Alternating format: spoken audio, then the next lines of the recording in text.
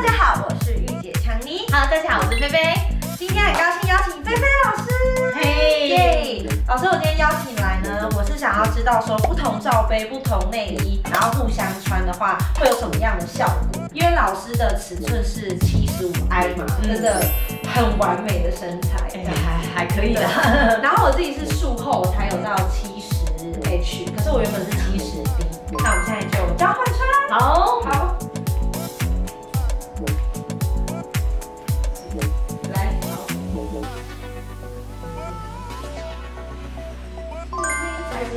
舒服。抢你的是哪一家的？我是 Q Momo。哎，好像跟你的是同一同一家哦。是 Q 我一 Momo。样的是大奶啊。对，而且他们的型都还蛮好看。我先把它压。哇！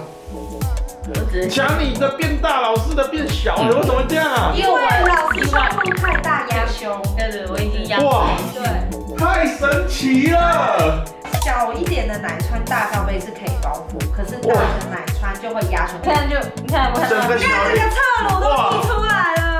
真哎、的。你是变大哎、但很狂哎、哇！老师这件很包很挺对哎，很挺你看我这件就是感觉就是，我觉得不是内衣，哇，就是没收好，老师的部分都不是内衣没做好，而是我的罩杯就是比你小一点。对，像我以前其实买内衣都买比较小，以前的罩杯其实没有做很大，然后我都会买想要漂亮 lady 的。那以前的 B C 的罩杯都好美，对不对，它都做蕾丝边，然后我就喜欢欧巴哥。八哥啊，曼大马莲啊，对，然后穿久了之后，你会发现你都会有腹，会溢出来，然后它就一直这样。这边就会有一块。块很包哎，老师之前很推哎。好啦，那这就是今天的内容哦。喜欢的话记得按赞、订阅、加分享哦。然后也欢迎大家去订阅 Miss Vivi 想入菲菲的频道。